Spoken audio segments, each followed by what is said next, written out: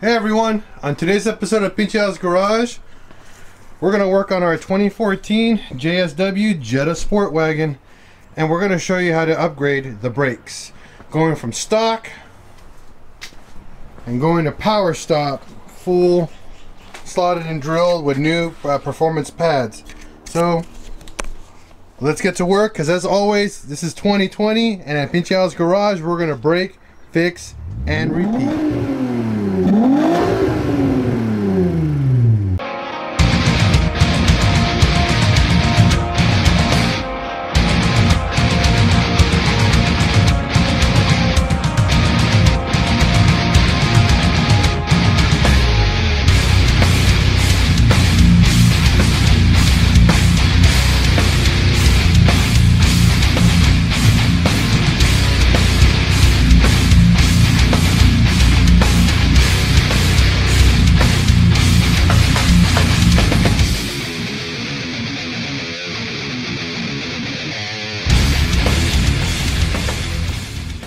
So on our Kerma TDI tuned uh, Jetta Sport Wagon, we need we needed better braking power, and we're going to show you how to do this, going from the stock rotor to actual performance power stop, and we actually got some performance pads from Power Stop themselves as well. We actually got an entire kit.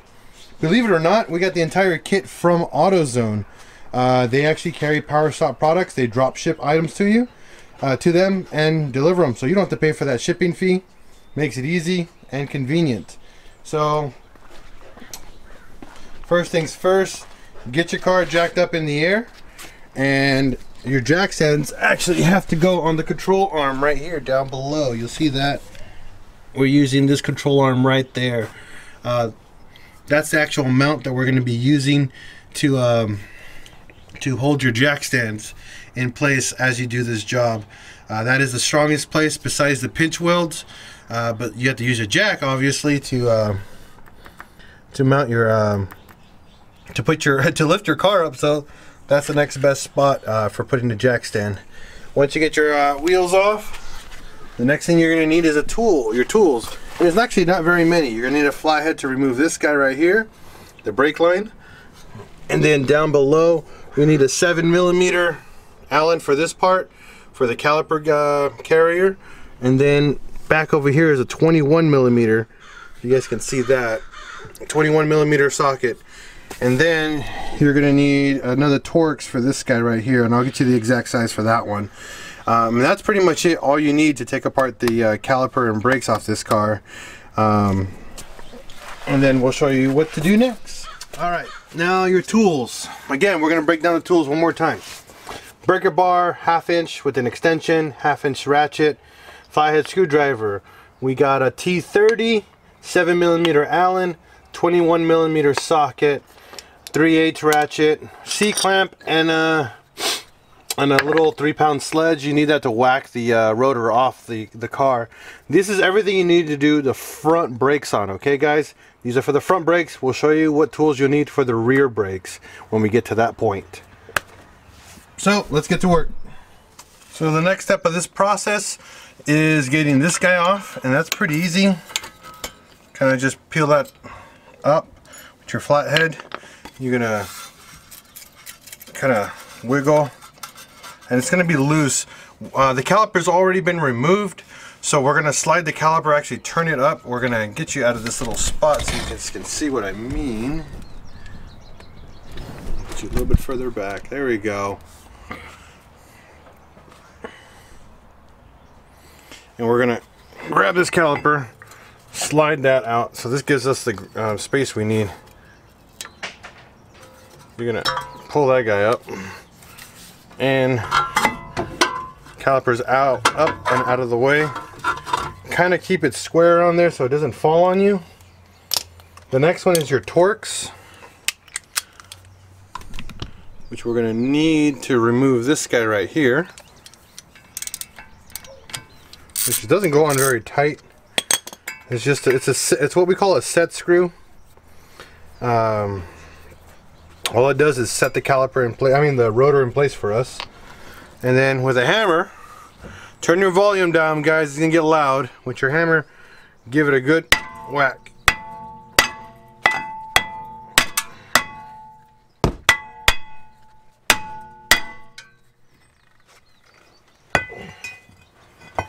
Some cars are not as loud. Some, I mean, it's not as easy. I mean, not as hard. Some cars, you just take that screw off and it just falls off. So, again, sorry about the noise, but that's what's going to happen.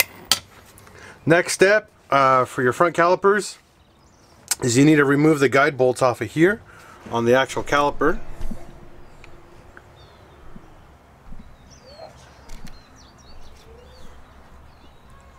There you go. And there's these two bolts right on the back that we were messing around with. Um, right now is actually a good time. You can actually remove the back pad. This guy. We don't need them anymore. Um, depending on how you feel, if you guys want to, use your C-clamp and find a good spot for that.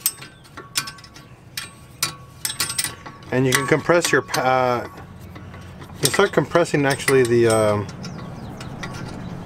the pad in. You got to do that actually uh, before you take the pad out. Before you take the, the back one. The front one's fine. Um, because you need to push the piston all the way in. So when you put your new pads in, since they're going to be a lot thicker, they'll fit. You're not struggling to install your uh, your pads and rotors. Next step is you can go go about this two ways.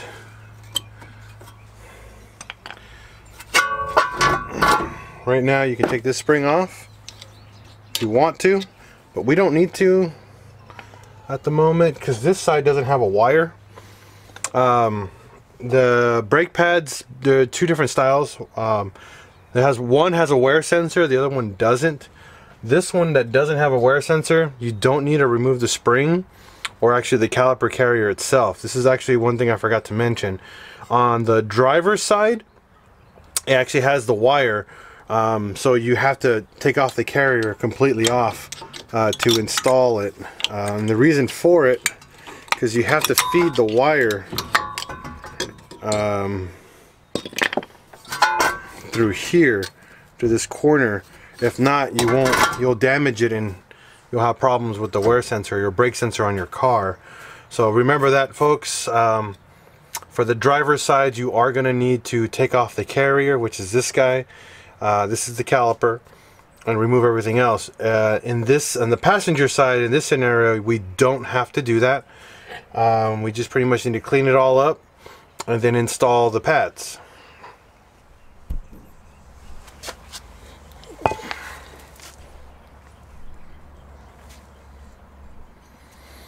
So we're here at this part where we got to install the new rotor and to do so it's pretty straightforward.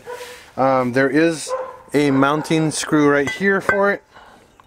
So that's pretty much where you're going to line it up because there's only one mounting screw hole on here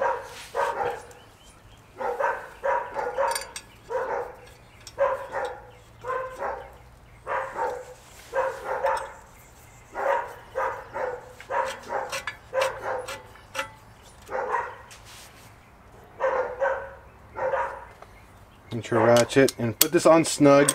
Not too tight because you can break them. These screws aren't meant to be on super tight. It's just a set screw. It's all its goal is to hold the rotor in place as you do your job. That is its only purpose in this uh, in this uh, job here.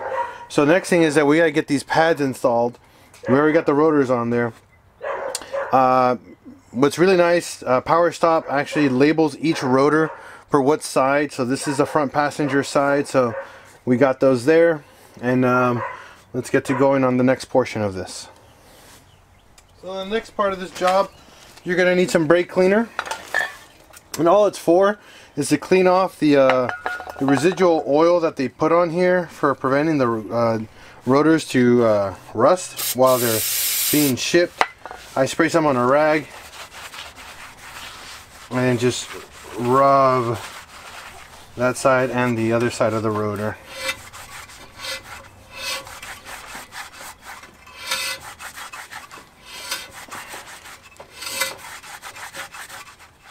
These are zinc coated, so technically we don't need to do this, but any if you don't buy Power Stop rotors, if you buy different types of rotors, you have to do it. Uh, when you take them out of the package, if you touch them, they have an oily surface. That is just what you need to do. If these brakes were actually more uh, on the dirtier side, I start cleaning everything inside here, but these actually, the rotors are actually really, I mean the calipers are in really, really good shape. So I'm not going to invest in dumping a bunch of brake cleaner on here. Maybe a little bit here and there, but um, it's there's not much to worry about on this caliper.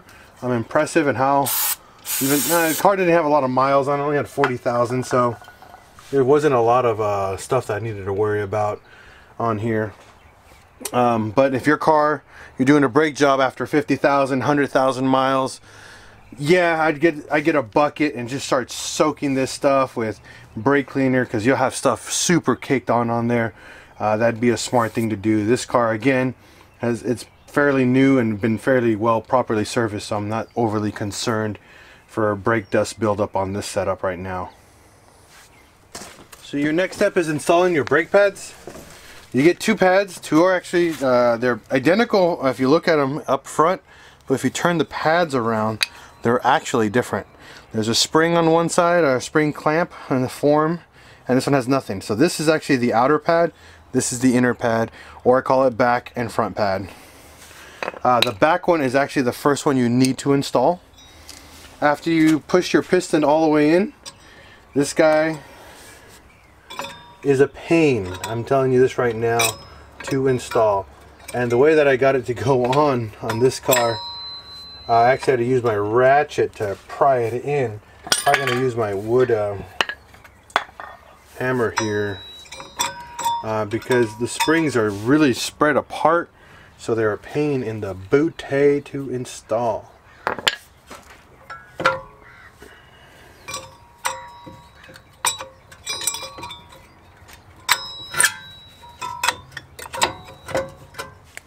So we had to actually take off the spring. I forgot that the retaining spring right here holds the pad's height.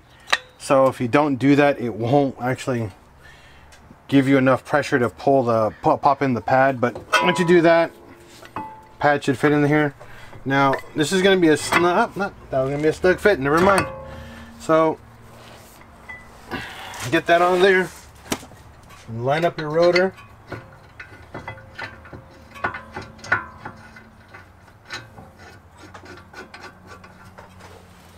Get that first bolt.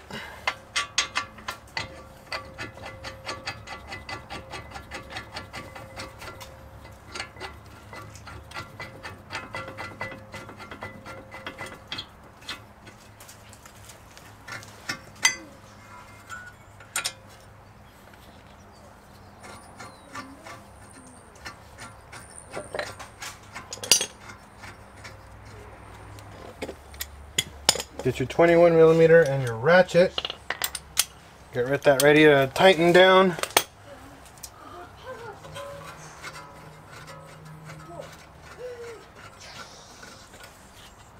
Now I like to do everything by hand um, and get that bolt as far down as I can by hand. Oops. And then actually start using my ratchet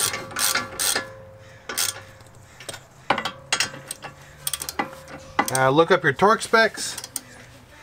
If you don't, I like to go pretty much as hard as I can, and that's it.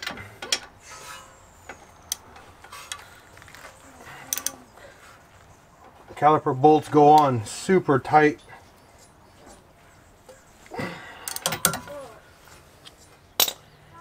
You're going to tighten down your uh,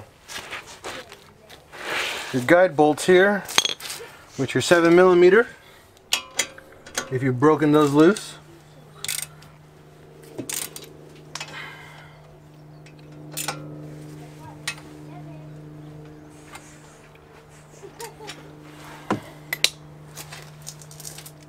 Put your new caps on if you replace the uh, the grommets on them. And that you that right there is your uh, oh we're not done yet.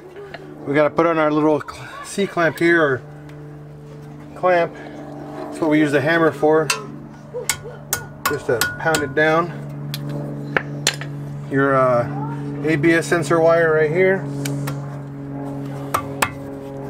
The last thing is your spring clip. Uh, this is the one. This is the one you're gonna hate the most out of all of them, out of this whole job. Um, you'll see here. Oh, this way. And then you gotta put that in here, and then bend it with your finger.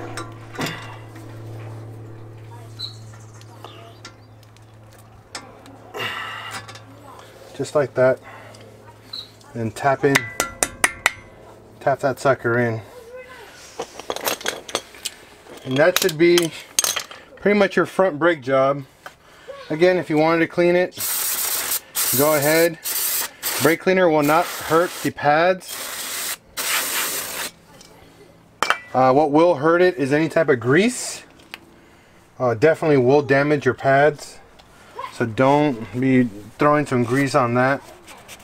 Um, usually if you had uh, brake pads with shims, then you would grease up the shims only. Uh, but this setup does not require it, so I'm not going to do it on this car. Uh, typically, you grease up the insides here. Uh, these calipers work slightly different than others. Um, so it's not really crazy. But that is your front uh, brake job.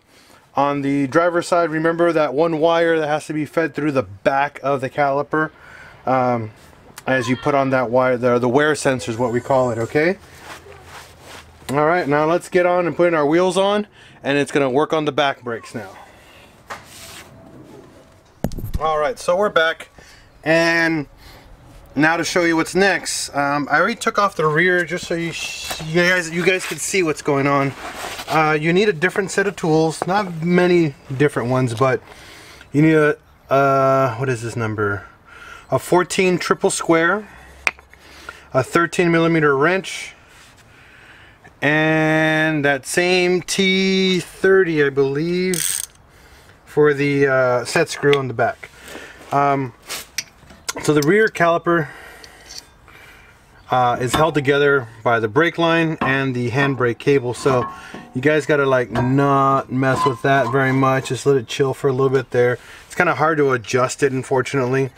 Um, but you are to need to break loose first the two 13 millimeters on the carrier and then the uh, the triple squares on the back. Take them off but first remove the uh, the, the 13 mils on the carrier first.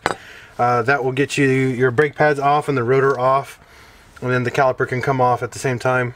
Uh, what you need to go do is go get a tool at AutoZone or your local parts place to rent and you're going to need the uh, caliper tool that actually goes on here to twist these because these are not um, piston type. These are actually uh, screw type uh, pistons.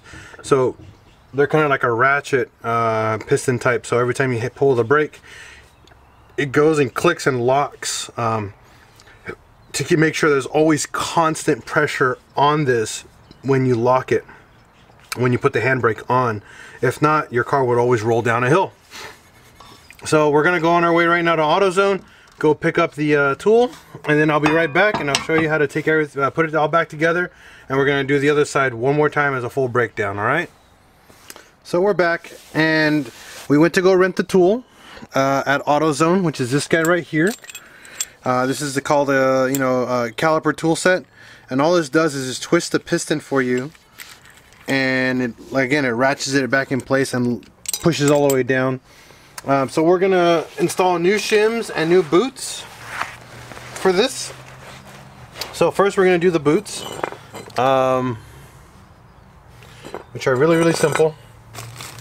There's no specific side for the boot; they're all identical, um, but there is a direction that they have to go. There's a notch and then no notch. That one goes up to here, kind of like squeeze it in there. And then they give you a little grease packet here.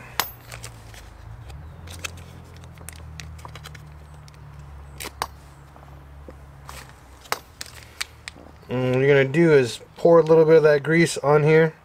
Not too much. don't want to slather it on here. Just get enough on there to lubricate it.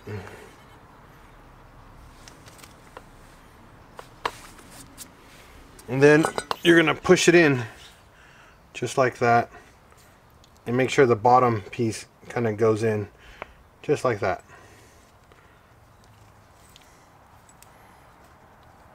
See that? Nice. It's a nice slide. See the old ones are kind of sliding back slower. So we're to undo this old work. Looks like this has been replaced.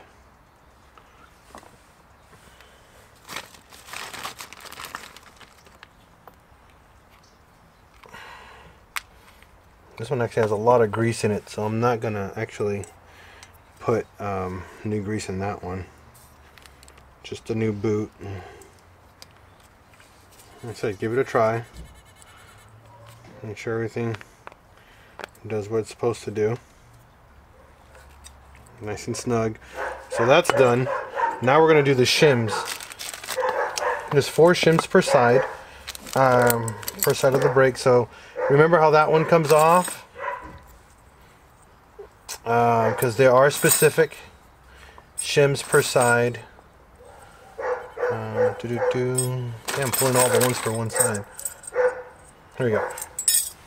There are left and right shims, so...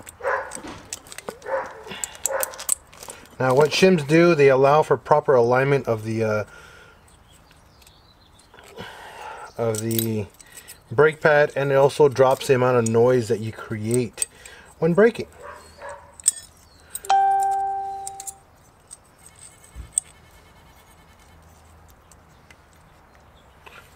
Only if I can get that sucker in there. There we go. And then pull the other side out.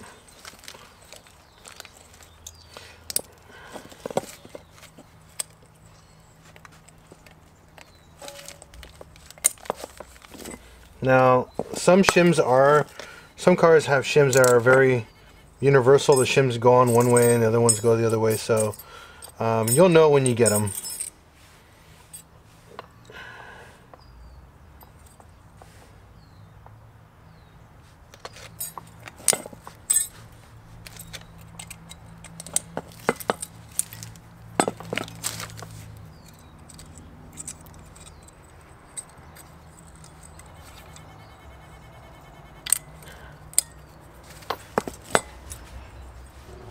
So once we got the shims in, we put the pads in place, then we tighten down the 13 and the uh, triple square on the back, nice and snug. And then here we go. We got the rear brakes on. Now I'm gonna show you guys again during the whole removal one more time so you guys can see it on the on the passenger side. And then um, that's it. We're gonna do that and then we're gonna do uh, some uh, testing after the fact because we want to make sure the brakes are doing their job. So we're going to take apart again the uh, these guys really quick. So going down, use your uh, vice grip to hold down the little square that sits in the back of the uh, caliper guide bolts.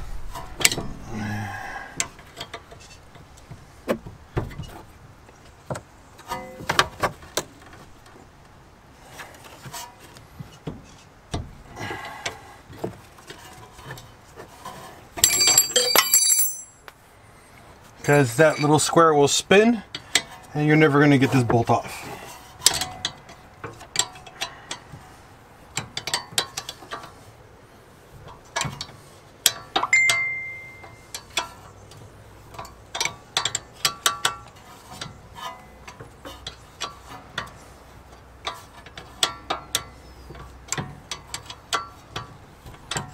Now the sun is I got about a half an hour, 40 minutes, so we're trying to make the most of this. So I'll show you what to do next when I get to that point.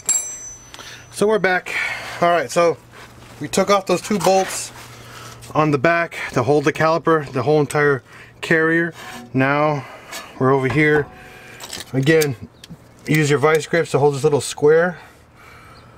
Right there. Right there, use your 13.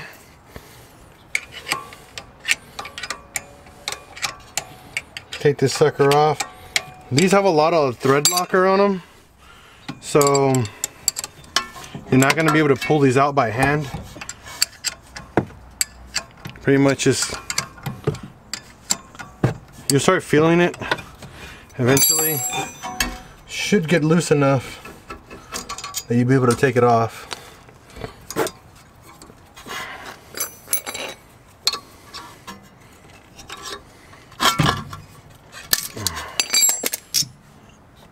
I'm kind of have to do the other side. It's kind of funky.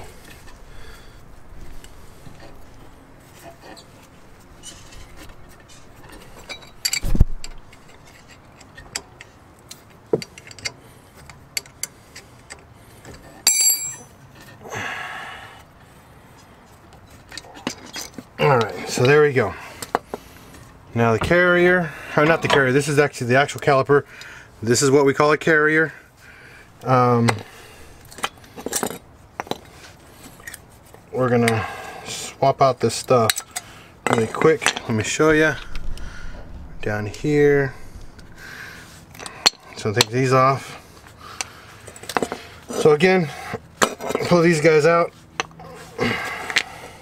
They're not side specific, so don't worry about them. They're weird. If you do want to worry about the side, then you can just put them in the way you took them off. And go grab the other stuff we need. Be right back.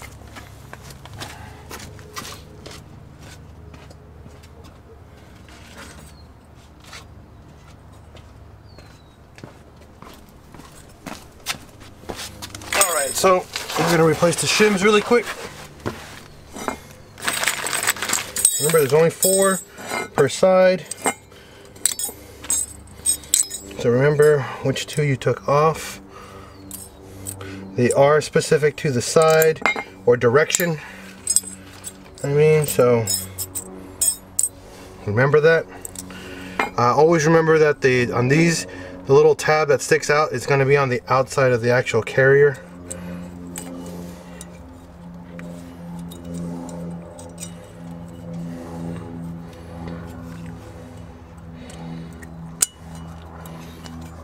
Careful because they have sharp edges they do hurt.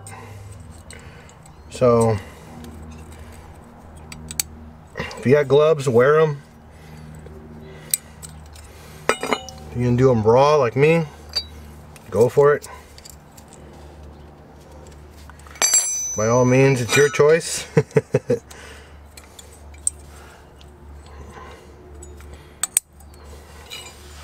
Same process.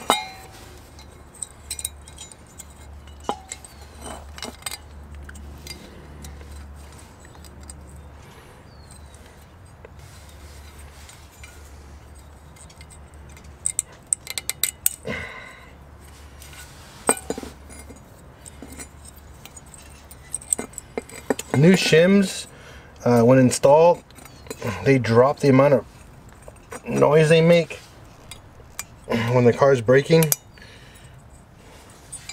So they have a benefit versus them be all rusty and cruddy like these. So now we're going to put in the new rubber boots. Remember there's two sides to the boot. There's a flat side and kind of like a caved in one. The caved in side or the one with the little divot goes into the carrier. The other side goes into the actual guide here. Oh wait, didn't remove the old one.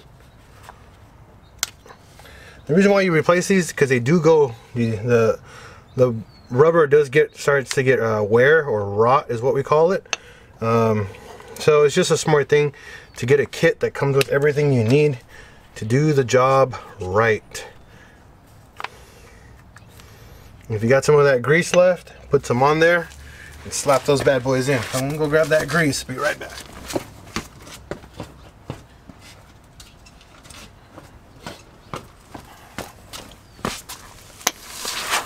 The grease goes on the actual guide bolt or ga- just slap some on there.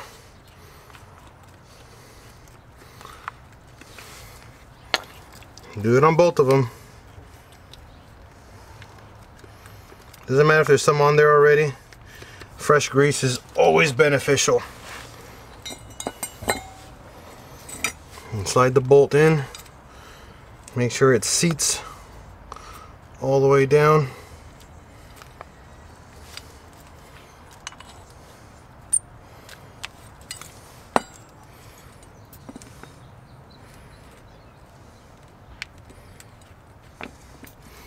Flat, just like that, okay? Now, reverse install everything with your new pads. Now we got carbon fiber ceramic pads from PowerStop. These guys, I will list the part numbers in the description once we get this all done. But reverse install everything and then we'll show you what to do next. So we got the carrier back onto the caliper and now we're going to slap in a pad. So you always want to do the back one first. They're such a pain because they have to go in almost pretty much perfect. If they don't, they won't slide in all the way. And that's what's the nuisance about brake pads. So that's this side. And now we got to do the other side. And this is where my headache comes in. that side is easy. For some reason, the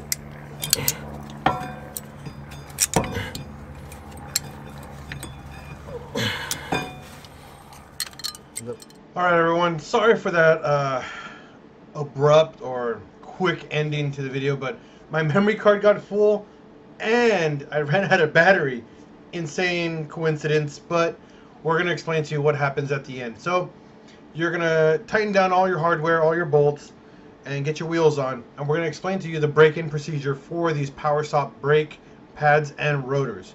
They are a carbon fiber ceramic composite so there is a very specific uh, process to uh, use these rotors, uh, to use these brakes, to use these brakes on this car.